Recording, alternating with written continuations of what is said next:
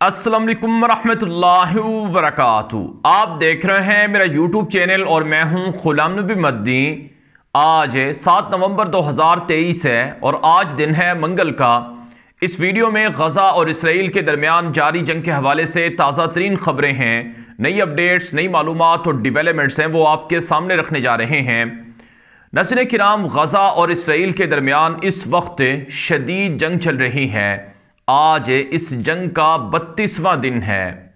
Israeli फ़ौजें गज़ा के अंदर मौजूद हैं और इसराइल के जंगी जहाज़ मुसलसल गज़ा पर बमबारी कर रहे हैं। इसराइली फ़ौज गज़ा की इस लड़ाई में अब तक अपने अहदाफ हासिल नहीं कर सकी है। इसराइली फ़ौज को गज़ा में दाखिल हुए आज नौवा दिन है। इसराइली फ़ौज गज़ा में इसलिए दाखिल हुई थी ताकि हमास के कब्ज़े से अपने कैदियों को रिहा करवा ले और हमास के बड़े बड़े जो कायदीन हैं, लीडर्स हैं, उनको गिरफ़्तार कर ले और गज़ा पर बिलखसूस शुमाली गज़ा पर और गज़ा का जो कैपिटल गज़ा सिटी है, उस पर कब्ज़ा कर ले। लेकिन अभी तक नौ दिनों में इसराइली फ़ौज ये अहदाफ हासिल नहीं कर सकी है। जो मैदान जंग की ताज़ा तरीन सूरत हाल है, पहले मैं वो आपके सामने रखूँगा। फिर गज़ा पर बमबारी के हवाले से आपको अपडेट्स दूँगा और इसके बाद अमरीका, यूरोप, मगरब किस तरह से इस जंग में इसराइल की मदद कर रहे हैं? ये आपके सामने इंतहाई हैरान कन तफसीलात हैं मेरे सामने, मेरे पास है, बहुत सी डिवेलपमेंट्स हैं, वो आपके सामने आएँगी। और फिर सबसे अहम कि गज़ा से हमास को मुकम्मल तौर पर ख़त्म करने के लिए बाज़ मुस्लिम ममालिक भी शामिल हैं। जी हाँ मेरे पास इस हवाले से रिपोर्ट्स हैं। आगे चलकर मैं आपको दूँगा। आपने ये मुकम्मल वीडियो देखनी है ताकि आपको भरपूर जो मालूम हैं इस जंग के हवाले से वो हासिल हो सकें। इसके अलावा, आपसे गुजारिश है कि अगर आपने अभी तक हमारा X account Twitter account follow नहीं किया तो उसे भी लाजमी कर लें। क्योंकि वहाँ पर हम ब्रेकिंग न्यूज़ वीडियोस नशर करते हैं। बहुत सी वीडियोस हम यूट्यूब पर नहीं दिखा सकते हैं। यूट्यूब की पॉलिसी है। हमारी बहुत सी वीडियोस डिलीट कर दी गई थी तो आप हमारा X account Twitter account follow करें। हमारा दूसरा यूट्यूब चैनल खबरों की दुनिया भी है, उसे भी फॉलो कर लें, क्योंकि कुछ खबरें हम वहाँ दूसरे यूट्यूब चैनल पर भी नशर करते हैं। तो हमारे ये तीन प्लेटफॉर्म्स हैं, इन पर आप मुस्तनद और तमाम मुकम्मल जो तफसीलात हैं, गज़ा और इसराइल की जंग के हवाले से वो हासिल कर सकते हैं। सबसे पहले मैदान जंग से नाजुन कराम आज इस जंग का यानी ज़मीनी जो लड़ाई है इसका आज नौवा दिन है। इसराइली फ़ौज को गज़ा में दाखिल हुए आज नौवा दिन है। रात गए जो इसराइली फोर्सेस हैं उनके साथ है, मुजाहिदीन की झड़पें जारी रही हैं। जो रात के मनाजिर हैं वो कुछ इस तरह से सामने आए हैं कि खौफनाक जो रोशनी के बम हैं वो गज़ा पर इसराइली जंगी जहाज़ों के ज़रिए से बरसाए गए हैं। यानी गज़ा में जो गुजरी रात है, ये कोई रात नहीं थी, बल्कि ऐसा लग रहा था जैसे कोई दिन हो। इतने रोशनी के बम गज़ा शहर पर बरसाए गए कि हर चीज़ सूरज की तरह चमकने लग गई। लेकिन नाजिन कराम शदीद लड़ाई और शदीद झड़पें देखी गईं और पूरी रात धमाकों की आवाज़ें, बमबारी की आवाज़ें और फायरिंग की आवाज़ें और टैंकों से गोलाबारी की जो आवाज़ें हैं वो सुनने को मिली हैं। मेरे सामने जो गसा का मैप है, जो आप इस वक्त हमारी स्क्रीन पर भी देख रहे हैं, इसमें आप देख सकते हैं कि इस वक्त इसराइली फ़ौज वो शुमाल मशरकी इलाके बैत हानून के तरफ़ है मौजूद है एक कोने में, और फिर शुमाल मगरबी जो गज़ा का इलाका है वहाँ पर मौजूद है। और सबसे जो अहम इस वक्त लड़ाई चल रही है, वो नाजिन कराम गज़ा के मशरक, जनूब जनूब मशरक की जानब से मगरब की तरफ़ जो इसराइली फ़ौज बढ़ रही है ताकि गज़ा सिटी को मुहासरा करके उसको कब्ज़ा कर लिया जाए। तो ये एक बड़ी शदीद इन इलाकों में लड़ाइयाँ देखी गई हैं। अब हुआ ये है कि रात गए मुजाहिदीन ने भी ताक ताक कर और घात लगा लगा कर हमले किए हैं। मेरे सामने जो ताज़ा तरीन जो रिपोर्ट्स हैं कि रात गए मुजाहिदीन के हमले में हमलों में दर्जनों यहूदी फ़ौजी हलाक और ज़ख्मी हुए हैं। मजमू तौर पर पिछले नौ दिनों में आठ दिनों में, चूँकि नौवा दिन है तो आठ दिनों में मजमू तौर पर इसराइली फ़ौज के तकरीबन एक हज़ार चार सौ यहूदी हलाक हुए हैं और ज़ख्मी हुए हैं। जबकि इसराइली फ़ौज के जो टैंक हैं, वो मजमू तौर पर जिनमें टैंक भी हैं, बिल्डोज़र्स भी हैं, फ़ौजी गाड़ियाँ भी हैं और ये जो नासिन कराम ये जो अदाद शुमार हैं टैंकों के अतबार से, इसमें सात अक्टूबर से लेकर ये अब तक मैं अदाद शुमार आपके सामने रख रहा हूँ, जबकि जो चौदह सौ यहूदी फ़ौजियों की हलाकतें हैं, ये सिर्फ़ जो पिछले आठ दिनों की है, ये आठ दिनों की जो उनकी हलाकतें हैं, वो मैंने आपके सामने रखी हैं। तो मजमू तौर पर एक सौ नब्बे टैंक अब तक मुजाहिदीन के हाथों तबाह हुए हैं, इसराइली फ़ौज के जिनमें फ़ौजी गाड़ियाँ नमिर और इसके अलावा जो उनके बिल्डोज़र्स हैं, वो भी शामिल हैं। जबकि 1400 यहूदी फ़ौजी हलाक हुए हैं इस लड़ाई में अब तक। और मुजाहिदीन की जानब से बताया जा रहा है कि इसराइली फ़ौज के हमने बेशुमार जो यहूदी हैं, उनको अपनी आँखों के सामने वहाँ उनकी लाशें पड़ी हुई देखी हैं गज़ा में। यानी कुछ ऐसे यहूदी फ़ौजी भी हैं जिनकी लाशें उन्होंने शिफ्ट भी नहीं की हैं।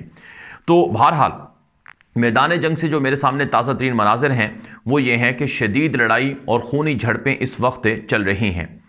अब एक और जो ख़बर सामने आई है, मैदान जंग से, वो ये आई है, इसराइली मीडिया नेटवर्क है यदीत आहरानोत बड़ा मशहूर मीडिया नेटवर्क है। उसका एक मिलिट्री कॉरस्पॉन्डेंट है, जो अस्करी सहाफ़ी है, वो इस जंग में वहाँ इसराइली फ़ौज के साथ गया हुआ है। उसने एक एतराफ़ किया है कि इसराइली फ़ौज का एक दस्ता है जो मैदान जंग में मुजाहिदीन की जो लाशें होती हैं, उनको वो आग लगाकर जला देते हैं। वैसे अब तक इसराइली फ़ौज के हाथों मुजाहिदीन इतने शहीद नहीं हुए जितने के दावे किए जा रहे हैं इसराइली फ़ौज की जानब से। इसराइली फ़ौज अब तक अपने नुकसान के बारे में कुछ नहीं बता रही हैं। उसने अब तक सिर्फ़ पैंतीस या चालीस फ़ौजियों की हलाकतें तस्लीम की हैं। किसी टैंक की तबाही या बर्बादी उसने नहीं मानी है, लेकिन मुजाहिदीन उनकी वीडियोज़ और तस्वीरें सब कुछ जारी कर चुके हैं। तो बहरहाल, इसराइली फ़ौज की ये दरिंदगी है कि मैदान जंग में मुजाहिदीन की लाशों को वो जला रहे हैं, केमिकल फेंक कर ये यदियत आहरानौत के एक सहाफ़ी है, उसने ये रिपोर्ट किया है। लेकिन नज़र कराम मुजाहिदीन कहते हैं कि चूँकि ये जंग है, जिहाद है तो ये जिहाद या तो शहादत के लिए है या ये फ़तह के लिए है। तो हम तो शहादत के अल्लाह से तमन्ना करते हैं। तो अगर हमारे मुजाहिदीन शहीद हो रहे हैं तो वो अपने मुल्क और मुक़दसात और अपनी कौम और अपने लोगों के लिए अल्लाह के रास्ते में जाने दे रहे हैं। तो ये हमारे हौसले पस नहीं कर सकता है। तो नज़र कराम, बहरहाल मैदान जंग इस वक्त बहुत ज़्यादा गर्म है। खूनी झड़पें, शदीद लड़ाइयाँ चल रही हैं। अगर मैं बम्बारी की बात करूँ तो बम्बारी तो मुख्तलिफ़ इलाकों में, गज़ा में वक्फ़े वक्फ़े से चल रही है। और हस्पतालों के आसपास, जैसे कि अशिफा हॉस्पिटल है, अलकुद्स हॉस्पिटल है, इंडोनेशिया हॉस्पिटल है इनके आसपास तो शदीद बम्बारी हुई है। यहाँ तक कि हॉस्पिटल्स का इतना मुहासरा है कि अब हॉस्पिटल्स, इलेक्ट्रिसिटी या फ्यूल उनके पास नहीं है और अद्वियात की कमी है और मरीज़ इतने ज़्यादा हैं कि इलाज नहीं किया जा रहा है। इसराइल हॉस्पिटल्स पर बम्बारी कर रहा है। गज़ा में शहदा की जो तादाद है वो तकरीबन दस हज़ार पाँच सौ हो गई है और ज़ख्मियों की तादाद चौबीस हज़ार से जायद है। मजमू तौर पर और दो हज़ार सात सौ से जायद लोग तो लापता हैं। मजमू तौर पर पैंतीस हज़ार से भी जायद लोग अब तक शहीद, ज़ख्मी, लापता हो चुके हैं और क़्यामत का मंजर है गज़ा के अंदर। फिर यहाँ पर एक और जो अहम तरीन डिवेलपमेंट है, वो ये है कि इसराइली यहूदी फ़ौज दावा कर रही है कि हमने गज़ा में मुजाहिदीन की, जहाँ से वो रॉकेट या मिज़ाइल लॉन्च करते हैं, वो साइट्स पकड़ी हैं और हमने टनल्स पकड़ी हैं। तो नज़र कराम मुजाहिदीन की गज़ा के अंदर और गज़ा के नीचे मिज़ाइलों की साइट्स भी हैं, फैक्ट्रियाँ भी हैं, कारखाने भी हैं। ऐसा नहीं है कि उन्होंने अगर 10 साइट्स पकड़ ली हैं तो मुजाहिदीन के मिज़ाइल सारे के सारे पकड़े गए हैं। हाँ ये ज़रूर हुआ है कि शुमाली गज़ा के इलाकों में लड़ाई के दौरान मुजाहिदीन के जो खुफिया मिज़ाइल छुपाने की जगह थी, वो कुछ जगह उन्होंने डिस्कवर की हैं और मिज़ाइल भी उन्होंने कुछ पकड़े हैं। लेकिन मुजाहिदीन की जानब से ये बताया जा रहा है कि हमारी टनल्स और हमारे जो मिज़ाइल दाखने की जो कैपेसिटी है, वो बहुत ज़्यादा है। यहूदी फ़ौज है, हमारी कितनी साइट्स पकड़ेगी? बहरहाल, इस वक्त गज़ा के अंदर बहुत शदीद लड़ाई चल रही है और इसराइली फ़ौज की वहशियाना जो बम्बारी है गज़ा में, वो भी देखने को मिल रही है। अब मैं आपके सामने कुछ दीगर ख़बरें रखने लगा हूँ, जिससे आपको अंदाज़ा होगा कि इस लड़ाई में कैसे अमरीका और शैतानी ताकतें आलम कुफर इसराइल को सपोर्ट कर रहा है। एक बड़ी ख़बर मेरे सामने ये है अमेरिका का जो पेंटागोन का तर्जुमान है, उसने ये कहा है कि ये जो लड़ाई चल रही है, इस लड़ाई में इसराइल को हक हासिल है। इसराइल अपने दिफा के लिए यह लड़ाई लड़ सकता है और वो लड़ रहा है। और ये लड़ाई इसराइल के वजूद की लड़ाई है। इसराइल को ये पता चल गया है कि हमास इसराइल को ख़त्म कर देगा, लिहाजा इसराइल हमास को ख़त्म करने के लिए आया है जब तक हमास ख़त्म नहीं होगा। तब तक इसराइल ये लड़ाई लड़ेगा। साथ साथ उसने ये भी कहा कि अमेरिका का इसराइल के साथ इतिहाद है कि वो अपने कैदियों को हमास के कब्ज़े से रिहा करवाने के लिए हर तरह की कार्रवाई कर सकता है। साथ साथ पेंटागोन के तर्जुमान ने यह भी कहा कि अमेरिका की जानब से हर तरह की जो मदद है इसराइल को फ़राहम की जा रही है और असलहा फ़राहम किया जा रहा है। इसके अलावा जो जॉन किरबी है नाजिन कराम, उसने एक इंटरव्यू दिया है फॉक्स न्यूज़ को। ये अमेरिका का, ये नेशनल सिक्योरिटी का और ये अमेरिका का टॉप ऑफिशियल है जॉन किरबी। इसका जो फॉक्स न्यूज़ पर इंटरव्यू है वो कुछ यूँ है। इसने कहा कि जो गज़ा में बताया जा रहा है कि इसराइल कत्ल आम कर रहा है और आम लोगों को बदतरीन अंदाज से वाशियाना तौर पर कत्ल कर रहा है, हम इससे इत्तेफाक नहीं करते हैं। गज़ा में कोई इज्तमाही तौर पर कत्लेआम नहीं हुआ है और ये बढ़ा चढ़ा कर अदाद शुमार पेश किए जा रहे हैं। हम इसको नहीं मानते हैं। ताहम उसने कहा कि हमने इसराइली फ़ौज को ये ज़रूर कहा है कि गज़ा में जब कार्रवाई करें तो आम लोगों का शहरीों का कम से कम नुकसान हो। इस बात की गारंटी हमने इसराइल से मांगी है। साथ साथ उन्होंने कहा कि इसराइल को अपने दिफा का मुकम्मल हक हासिल है। इसराइल जो चाहे अपने लिए कर सकता है। तो आप तस्वुर करें, अमेरिका का सदर भी कुछ दिन पहले यही कह चुका है कि जितना हमास ये गज़ा में जो लोगों के हलाक शहादतें बताई जा रही हैं, उतनी हुई नहीं हैं। तो अभी अमेरिका के जॉन केरबी, जो एक टॉप ऑफिशियल हैं, उनका ये बयान है कि जिसमें वो कह रहा है कि ये सब झूठ है, यानी पैंतीस हज़ार लोग शहीद हो गए, ये सब झूठ है। तो फिर तो सात अक्टूबर को जो मुजाहिदीन ने तूफ़ान अक्सा ऑपरेशन किया था तो वो भी, उसमें भी जो इसराइल की जो हलाकतें हैं, वो भी झूठ हैं। इसराइल दावा झूठ करता है कि हमारे चार हज़ार लोग ज़ख्मी हो गए थे और हमारे पंद्रह, चौदह सौ, पंद्रह सौ लोग मारे गए थे, हलाक हो गए थे तो वो इसराइल का दावा भी फिर झूठा है। तो इससे आप अंदाज़ा लगा लें कि अमरीका किस हद तक इसराइल को सपोर्ट कर रहा है। एक और बड़ी खबर, वॉल स्ट्रीट जर्नल, अमरीका का बड़ा मशहूर मीडिया नेटवर्क है, उसकी ये रिपोर्ट है कि अमरीका ने 320 मिलियन डॉलर फौरी तौर पर इसराइल की मदद के लिए रिलीज़ करने का ऐलान किया है। 320 मिलियन डॉलर का असलहा और खसूसी जो बम हैं, जो गज़ा में इसराइल को काम आएँगे, वो बम फौरी तौर पर इसराइल को देने का ऐलान किया गया है। 320 मिलियन डॉलर का मज़ीद असलहा, जदीद असलहा इसराइल के लिए अमरीका की जानब से देने का ऐलान किया गया है। और ये बड़े एडवांस किस्म के कातिल बम हैं, जो इसराइल को दिए जाएँगे। बताया जा रहा है, अमरीका अब तक तकरीबन एक हज़ार जंगी जहाज़ों में, एक हज़ार जंगी जहाज़ जिनमें से अक्सर असलहे से लदे हुए थे, वो इसराइल की मदद के लिए भेज चुके हैं। अमेरिका के तीन बाहरी बेड़े इस वक्त इसराइल की समंदरी हदूद में खड़े हुए हैं। अमेरिका के जो न्यूक्लियर सबमरीन हैं आबदोज़ है, वो इसराइल के बॉर्डर पर साहिल समंदर में खड़ी हुई है। यहाँ तक कि आज जो इसराइल का यहाँ तक कि जो इसराइल का आर्मी चीफ़ है, उसने जो एफ़ थर्टी फाइव जहाज़ उड़ाने वाला स्क्वाड्रन है, उससे मुलाकात की और अमेरिका इसराइल का आर्मी चीफ़ ने यह कहा कि हमारे पास अमेरिका के दिए हुए एफ़ थर्टी फाइव जहाज़ हैं, हम मशरक़ वस्ती में जहाँ चाहें जाकर हमला कर सकते हैं, जिसको चाहें जाकर हम मार सकते हैं। तो इससे आप अंदाज़ा लगा लें कि इस लड़ाई में अमेरिका, यूरोप, मगरबी दुनिया कैसे इसराइल को सपोर्ट कर रही है। नजन कराम एक और बड़ी खबर सुन लीजिए कि जर्मनी का जो एयर चीफ़ है, एयर फोर्सेस का जो चीफ़ है, एयर फोर्स का जो चीफ़ है जर्मनी जर्मनी का, वो इसराइल आया है और उसने इसराइली एयर चीफ़ से वज़ी दिफा से मुलाकात की और ये कहा कि जर्मनी के जहाज़, हथियार सब कुछ इसराइल की मदद के लिए हाजिर है। जर्मनी के अलावा फ्रांस, बरतानिया, कैनेडा, पूरा यूरोप, मगरबी दुनिया सपोर्ट कर रही है इसराइल को। और पूरी मगरबी दुनिया यहूदी रियासत को बचाने के लिए एडी चोटी का ज़ोर लगा रही है। ये मेरे सामने एक और बड़ी खबर है। इसराइल का बड़ा मशहूर मीडिया नेटवर्क हर्टिस है। उसकी रिपोर्ट है जो यूरोपीय यूनियन की जो सरबरा है, उसने ये बयान दिया है कि Hamas can not govern Gaza EU chief presents road map for after Israel Hamas war कि हमास जो है ये गज़ा पर अब हुकूमत नहीं कर सकेगा। गज़ा में हमास यानी इसराइल की जो लड़ाई चल रही है हमास के ख़िलाफ़ इस लड़ाई के बाद गज़ा का हुक्मरान कौन होगा? इस हवाले से रोड मैप बना लिया गया है यूरोपीय यूनियन की जानब से। एक और ख़बर यह है कि जनेवा में ए, मीटिंग्स हो रही हैं खुफिया। उन मीटिंग्स में महमूद अब्बास की जो हकूमत के लोग हैं, बताया जाता है, वो भी शरीक हुए हैं। और प्लान ये है कि गज़ा में अब हमास हकूमत नहीं करेगा। उसकी जगह पर या तो महमूद अब्बास की अथॉरिटी को गज़ा में हुकूमत दी जाएगी, या कोई दुनिया की मुश्तर कई ममालिक की अमन फ़ौजें आएँगी और अबूरी हुकूमत कायम की जाएगी, या फिर उर्दन को या किसी और मुल्क को अथॉरिटी या मिस्र वगैरह को अथॉरिटी दी जाएगी। तो इस तरह की चीज़ें गज़ा के हवाले से चल रही हैं।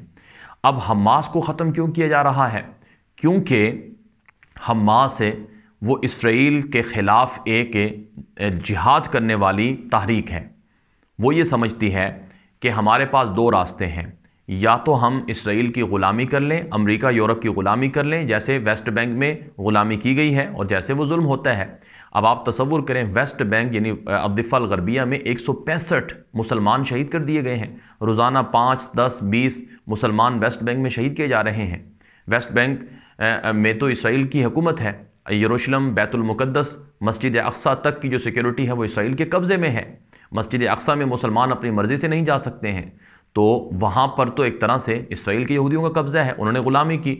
तो गज़ा मुकम्मल तौर पर हमास के कंट्रोल में है, क्योंकि ये लड़ाई करते हैं, इनके पास बेहतरीन फ़ौज है, बेहतरीन मुजाहिदीन है। तो अब हमास को इसलिए ख़त्म किया जा रहा है, क्योंकि ये इसराइल को ख़त्म करना चाहती है। ये इसराइल के जवाल का सबब है, ये ग्रेटर इसराइल के रास्ते में रुकावट है। हमास को इसलिए ख़त्म किया जा रहा है कि जो नहर सुइस के मुतबादल, नहर बिन गोरियोन बनाने का प्लान है उसमें ये रुकावट है और जो अरब रियासतें इसराइल को तस्लीम करना चाहती हैं, मुसलमान रियासतें इसराइल से याराने बढ़ाना चाहती हैं, ये उनके रास्ते में रुकावट है। इसलिए हमास को ख़त्म कर दिया जाए। तो ये प्लान और ये जो मंसूबे हैं, ये चल रहे हैं। चुनाच नाजिन कराम, ये मेरे सामने इसराइल का मशहूर मीडिया नेटवर्क यरूशलम पोस्ट है। ये उसकी रिपोर्ट है जो मैं आपके सामने रखने लगा हूँ। आपको अंदाज़ा होगा कि हालात किस हद तक किस तरफ़ जा रहे हैं। ये यरूशलेम पोस्ट की ये रिपोर्ट है, जिसमें लिखा गया है कि इसराइल और सऊदी अरब के दरमियान जो ताल्लुकात की बहाली है, ये तब तक मुमकिन नहीं है जब तक कि हमास को शिकस्त ना दे दी जाए। लिखा गया है कि बहुत ज़्यादा ज़रूरी है इसराइल की हमास के ख़िलाफ़ विक्ट्री, ताकि ना सिर्फ़ सऊदी अरब से, बल्कि दुनिया के मुसलमान दीगर ममालिक से इसराइल की दोस्ती हो और ग्रेटर इसराइल का जो मनसूबा है, वो आगे बढ़ सके। और इब्राहिम इब्राहिम अक्कार्ड के नाम से इब्राहिम एग्रीमेंट्स जो ट्रंप दौर में 2017 में शुरू हुए थे, वो दीगर मुस्लिम दुनिया के साथ बढ़ा दिए जाएँ। तो ये वो सारी चीज़ें हैं जो इस वक्त इसराइल, अमरीका, यूरोप, मगरबी दुनिया, पस पर्दा ये चीज़ें रखी हुई हैं। चुनाचे सी आई ए का चीफ़ अमरीका का वज़ी दिफा, अमरीका का वज़ी ख़ारजा, अमरीका का सदर, अमरीका की पार्लियामेंट अमरीका की सैनट तमाम इदारे खुलकर इसराइल की हिमायत और मदद कर रहे हैं। पूरा यूरोप, पूरी मगरबी दुनिया इसराइल की हिमायत और उनकी मदद में सामने आए हुए हैं, जिससे आप अंदाज़ा लगा लें कि कितना अब गज़ा के ख़िलाफ़ जारियत करने का प्लान है। अब नाजुन कराम सिर्फ़ यही नहीं, बल्कि ये मेरे सामने एक और ख़बर है कि दुनिया भर में जहाँ जहाँ हमास की क़्यादत है, उनके ख़िलाफ़ भी क्रैकडाउन किए जाने का इम्कान है। यूरोशलम पोस्ट की रिपोर्ट है, over a quarter of Hamas officials hiding cross Middle East IDF के तकरीबन जो हमास का पच्चीस फ़ीसद या तीस फ़ीसद जो उनके लोग हैं, वो मिडल ईस्ट में मशरक़ वस्ती में मुख्तलिफ़ मुल्कों में पनाह लिए हुए हैं, उन्हें भी ख़त्म करना होगा। यहाँ तक कि इसराइली मीडिया पर तो ये भी आया है कि गज़ा में हमास को ख़त्म करने के बाद हमने फिर कतर, हमने फिर कतर से निमटना है, क्योंकि कतर हमास को और फ़लस्तीन के काज को सपोर्ट करता है। तो जो जो यहूदियों की रियासत को नहीं तस्लीम करेगा, उसके साथ यहूदी फिर लड़ेंगे, और जो इसराइली यहूदियों की रियासत को तस्लीम कर लेगा, उसको यहूदी कुछ नहीं कहेंगे। यह वही दज्जाल वाली स्ट्रेटजी है। दज्जाल की स्ट्रेटजी क्या होगी? अहादीस पाक में रसूल अक्रम सल्लल्लाहु अलैहि वसल्लम के फ़रामीन मौजूद हैं। कि दज्जाल ये कहेगा कि मुझे खुदा मानो मेरे ऊपर ईमान लेकर आओ। जो उसकी बात मान लेगा, वो उसे छोड़ देगा। जो बात नहीं मानेगा, वो उसे कत्ल करेगा। चुनाचे जो वो, जहाँ तक कि वो जन्नत और जहन्नम भी दिखाएगा, उसके पास करिश्माती जो ताकत है, वो भी होगी। तो वो इस तरह से धोखा देगा दुनिया को। बिल्कुल आज उसी तरह से ये दज्जाल के जो पैरोकार हैं, यहूदी, वो धोखा दे रहे हैं। एक और ख़बर मेरे सामने ये है कि जोसेफ बोरेल ये यूरोपीय यूनियन के खारजा अमूर के ज़िम्मेदार हैं। इनका ये बयान है कि इसराइल और फ़लस्तीन के दरमियान जो लड़ाई है, ये मजहबी लड़ाई है, ये तहजीबों की लड़ाई है। उसने कहा कि Borrell Israeli Palestinian conflict a battle of religion, civilisation, के ये जो लड़ाई है, ये एक मजहबी लड़ाई है। तो यहूदी ईसाई इसको मजहबी लड़ाई गिरदानते हैं, लेकिन अफसोस ये है कि उम्मत मुस्लिमा मुसलमान ख्वाब गफलत में है। पूरी दुनिया इसराइल को सपोर्ट कर रही है, मदद दे रही है, लेकिन सत्तावन मुसलमान मुल्क गज़ा के मुसलमानों को पानी नहीं पहुँचा सके हैं, उनको अद्वियात नहीं दे सके हैं, उनको खुराक नहीं दे सके हैं, यहाँ तक कि ज़ख्मियों को वहाँ से निकाल नहीं सके हैं। भारत नज़र का, बेल्जियम की जानब से ख़बर आ रही है कि बेल्जियम ने गज़ा में जो जंगी जराइम का इरतकब है, इस, इन जराइम के इरतकब पर इसराइल के वज़ी अजम नैतन याहू और दीगर यहूदी हुकाम के बेल्जियम दाखिले पर पाबंदी लगाने का मुतालबा कर दिया है और वो इस पर गौर फ़िक्र कर रहे हैं। ये रिपोर्ट सामने आ रही हैं। फिर नाजिन कराम जो एक और बड़ी ख़बर है मेरे सामने, वो ये है कि गज़ा में जो इसराइली फ़ौजें दाखिल हुई हैं, शुमाली गज़ा में मैंने शुरू में बात कर ली है, शुमाली गज़ा में जो इसराइली फ़ौजें दाखिल हुई हैं जैसे कि वो कह रही हैं कि हमने टनल्स पकड़े हैं वगैरह वगैरह। तो इसी तरह से एक स्कूल था, उस स्कूल की इमारत, यानी खाली इमारत थी, उस पर उन्होंने झंडा लहराया और ये कहा कि देखो, हमने गज़ा में इमारतों पर कब्ज़ा कर लिया है। इस वक्त गज़ा के शुमाल में कई इमारतें खाली हैं, खंडर बनी हुई हैं, लोग वहाँ नहीं हैं। उनमें यहूदी फ़ौजें पनाह लिए हुए हैं। वहाँ अगर वो झंडा लहरा देती हैं तो मुजाहिदीन फिर ऐसा करते हैं कि उन इमारतों को जो आर पी जी जो बम है, या टी बी जी जो उनके पास बम है, खसूसी तौर पर, उससे पूरी इमारत को वो तबाह कर देते हैं। तो भारत कराम, इस वक्त ये लड़ाई चल रही है और इस लड़ाई में जो हालात हैं, वो मज़ीद बढ़ते जा रहे हैं, ख़राब होते जा रहे हैं। मैं आखिर में, चूँकि व्लॉग बहुत लंबा हो गया है, मेरे सामने और भी कुछ ख़बरें हैं, मैं अगले व्लॉग में आपके सामने नशर करूँगा। आखिर में सिर्फ़ मैं आपके सामने जो एक तारीख़ और सीरत से एक मुख्तसर सी एक पोस्ट है, वो आपके सामने रखना चाहता हूँ। जो रूमी ताकत थी, रूमी जो सल्तनत थी, रूमी और फ़ारसी, रूम और फ़ारस ये दुनिया पर दो बड़ी ताकतें थी, हुक्मरानी किया करती थी इस्लाम से पहले। तो रूम और फ़ारस की जो लड़ाई है, वो तकरीबन 700 साल तक जारी रही है और इन दोनों ताकतों में एक हज़ार से ज़ायद जंगें हुई हैं। लेकिन इनमें से कोई एक भी किसी को मुस्तकिल तौर पर कभी नहीं हरा सका है। यानी रूम और फ़ारस की जो लड़ाई थी, इनमें से किसी एक को, को मुस्तकिल तौर पर ख़त्म कर दिया जाए ऐसी कोई लड़ाई इनके दरमियान नहीं हुई। यानी उसका ऐसा कोई नतीजा नहीं निकला। लेकिन फिर इस्लाम अल्लाह ताला ने दुनिया में रसूल अकरम सल्लल्लाहु अलैहि वसल्लम के ज़रिए से दीन इस्लाम पहुँचाया और इस्लाम की नशो नुमा हुई और इस्लाम दुनिया में फैला तो ऐसे ऐसे जलीलकदर और अजीम शान जो जो कायदीन थे मुजाहिद थे जो सहाबा कराम थे, वो तैयार हुए। चुनाचे खालिद बिन वलीद रज़ी अल्लाह तु और हज़रत अबू उबैदा और काका रज़ी अल्लाह और इसके अलावा दीगर बड़े बड़े जलीलकदर सहाबा कराम थे, जिन्होंने ना सिर्फ़ इन दोनों ताकतों को सिर्फ़ चार सालों में शिकस्त से दो किया, बल्कि मुस्तकिल तौर पर पूरी दुनिया में इस्लाम का गलबा करके दिखा दिया। चुनाचे तारीख़ हमें ये बताती है कि मुसलमानों ने इस, जब इस्लाम आया तो उसके बाद पंद्रह मार्कों में फ़ारसियों को शिकस्त दी गई और रूमियों को नौ मार्कों में शिकस्त दी गई। फिर इन दोनों ताकतों ने, यानी दुनिया की दो बड़ी सुपर ताकतें थीं, इन दोनों ने मिलकर मुसलमानों से मुकाबले का फ़ैसला किया। चुनाचे दो लाख ये जंगजू जमा करके लाए सन बारह हिजरी में। तो अल्लाह ताला ने इन दोनों ताकतों को, सुपर ताकतों को सिर्फ़ पंद्रह हज़ार मुसलमान जंगजुओं के ज़रिए से शिकस्त से दो चार किया। तो इसलिए ये बात नहीं है कि आज अगर पूरा यूरोप, अगर आज दुनिया के तीन अरब ईसाई और उनके साथ है यहूद, हनूद और सब पूरा आलम कुफर चूँकि दो अरब मुसलमान हैं, दुनिया की आबादी आठ अरब है तो दो अरब मुसलमानों में से तकरीबन चार अरब मुसलमान तो काफर हैं। अगर ये चार अरब एक तरफ़ हो जाते हैं ये सब एक तरफ़ हो जाते हैं और ये मुसलमानों के ख़िलाफ़ लड़ते हैं। तो अल्लाह की ज़ात आज भी मुजज़ा मुजज़े जो हैं, मदद जो है, नुसरत जो है, या अल्लाह की तरफ़ से जो ख़ास तौर पर जो मदद है, वो आज भी नाजल हो सकती है। हमारे सामने मिसाल अफ़गानिस्तान की है कि कैसे पचास मुल्कों को शिकस्त दी। हमारे सामने मिसाल बत्तीस दिन हो गए हैं इस जंग को, अभी तक इसराइल अपने हदाफ हासिल नहीं कर सके हैं। तो इसलिए अल्लाह की ज़ात पर भरोसा करना और अल्लाह से मदद मांगना कम मिन फ़ियतिन कलीलतिन गलबत फ़ियतन कसीरतम बज़नल्ला अल्लाह के इस फरमान पर यकीन कामिल रखना ये मुसलमानों की फ़तह की सबसे बड़ी एक तरह से दलील है। तो इस पर मुसलमानों को नज़र रखनी चाहिए और हमें फ़लस्तीन के लिए, गज़ा के लिए दुआ करनी चाहिए। अल्लाह ताला मुसलमानों को जो खाइन बददियानत गद्दार किस्म के जो लोग हैं नाम नहाद मुनाफिकीन हैं, जो बदकिस्मती से मुसलमानों के अंदर हुक्मरान बन गए हैं, उनसे निजात दिलाए।